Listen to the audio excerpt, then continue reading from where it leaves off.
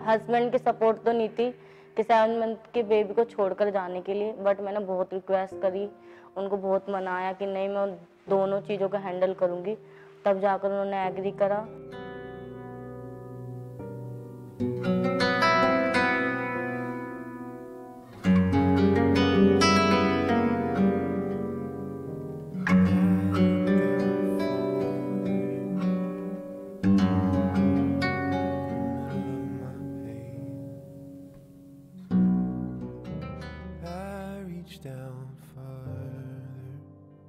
Stage पे आकर speak नहीं कर पाती सही से कम्युनिकेट नहीं कर पाती बातों को अपने रख नहीं पाती लोगों के सामने।